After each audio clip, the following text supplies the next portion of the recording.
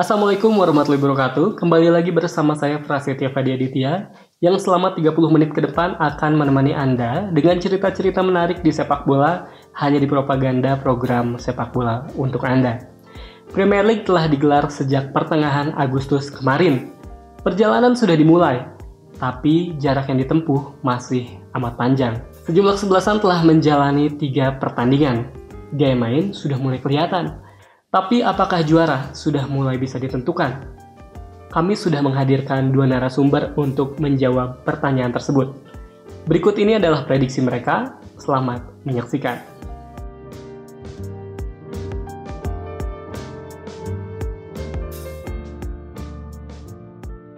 Chelsea FC.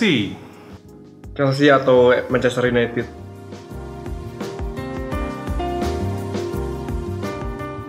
Sebenarnya kekuatannya ada di lini tengah, uh, di Jorginho, terus juga N'Golo Conte itu semacam jadi generator permainan Chelsea. Uh, bagaimana transisi permainan Chelsea dari belakang ke depan itu sangat bergantung sama Jorginho dan juga Conte. Selain itu mereka juga punya Kovacic juga untuk untuk sebagai replacement. Ini yang bikin menurut saya kunci uh, dari permainan Chelsea dan kalau boleh dibilang kalau misal bicara siapa gelandang terbaik di Premier League kita harus bilang Kevin De Bruyne. Tapi kalau misalnya bicara siapa paket gelandang terbaik di Premier League itu Conte dan juga Jorginho.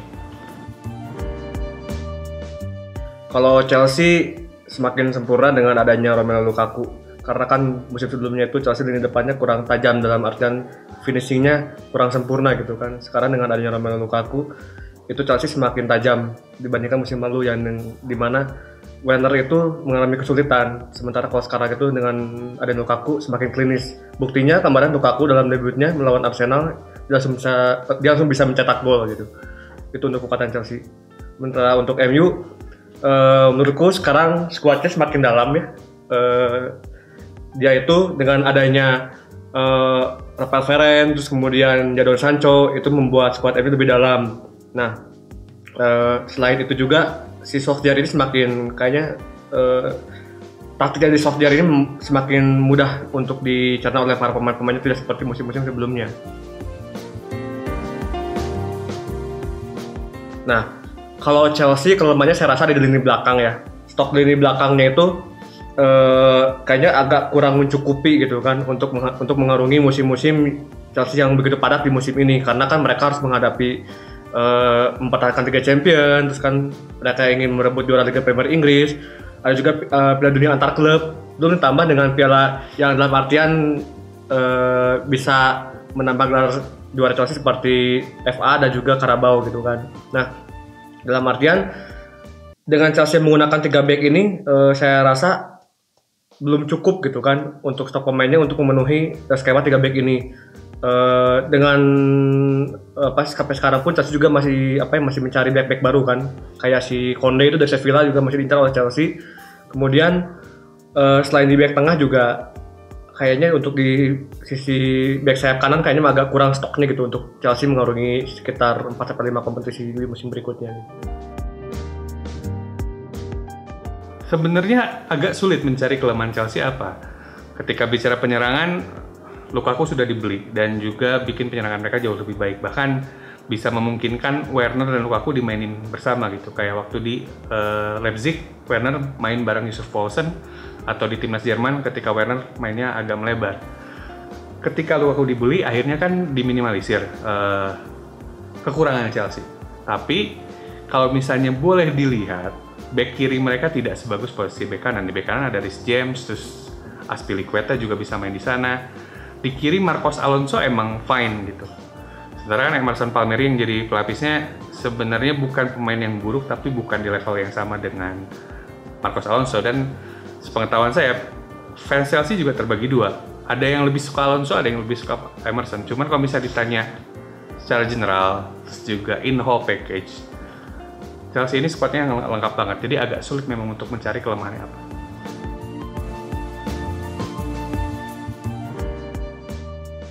Oke, kalau Chelsea tadi saya seperti, seperti tadi saya bilangnya itu uh, untuk kedalaman lini belakangnya kurang gitu kan. Terus kemudian juga uh, Chelsea ini saya lihat ketika menghadapi counter counter attack gitu kan dari uh, lawan-lawannya itu masih agak kelimpungan gitu kan karena kadang-kadang uh, wingback Chelsea itu telat mundur gitu terutama uh, di si Richard James gitu kan. Richard James ini ya kalau lawan tim-tim besar itu suka kelihatan kayak agak riskan gitu kan si posisinya ini gitu kalau untuk si Richard James gitu. Itu aja sih kalau buat Chelsea tapi untuk menemukan kelemahannya itu agak kecil untuk si Chelsea itu gitu. MU saya bilang sih kalau di uh, squadnya tuh kurang dalam di depan sih itu aja sih tadi saya udah bilang juga uh, untuk di tengah sih kayaknya untuk komplit banget ya di tengah itu. Cuman di depannya tuh kalau buat nonton covernya doang kayaknya nggak akan bisa ini deh kayaknya gitu. Sama MU itu inkonsistensi gitu kan. Kadang-kadang awal-awal bagus terus tengah tengah kayak kemarin tiba-tiba imbang gitu kan setelah menang besar kayaknya.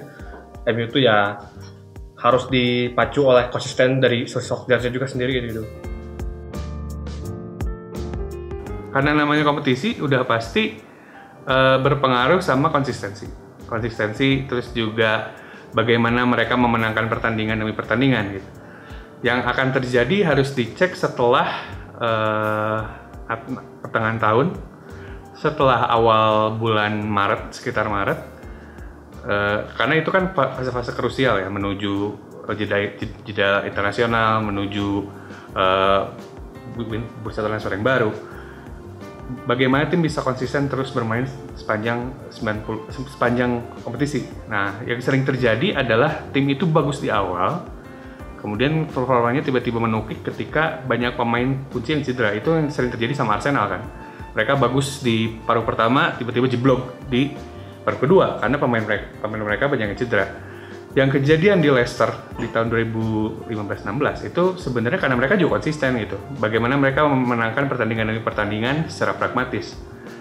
Skornya mungkin nggak gede, 2-0, 1-0, 2-1, 3-2, tapi mereka tetap bisa konsisten untuk terus meraih 3 poin. Nah, yang akan diperiksa atau kita harus cek adalah ketika Chelsea setelah memenangkan klub World Cup. Itu pasti bakal confidence naik tapi juga istilahnya mungkin uh, kayak apa ya? Kayak orang orang orang orang yang terlena lah sama sama kemenangan demi kemenangan gitu. Makanya kemudian yang bisa jadi masalah buat Chelsea adalah ketika seandainya mereka tidak konsisten dan Thomas Tuchel ini punya permasalahan ya pelatih Chelsea punya permasalahan ketika menangani superstar itu mungkin bisa jadi batu sandungan. Cuman di sisi lain, superstarnya Chelsea sekarang itu tidak ada tipe pemain yang dia temui di Dortmund atau di di Paris Saint-Germain. Nggak ada pemain kayak uh, Royce yang emang apa putra daerah banget yang ya ini ya, memiliki klub lah. Terus juga di Chelsea juga gak ada yang model kayak Neymar atau Mbappe yang susah diatur. Jadi uh, secara environment, secara keseluruhan ya Chelsea situasinya menyenangkan dan juga salah satu jadi favorit juara.